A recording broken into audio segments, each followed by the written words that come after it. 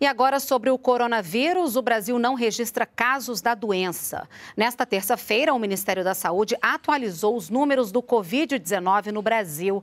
São cinco agora os casos suspeitos: quatro no estado de São Paulo e um no Rio Grande do Sul.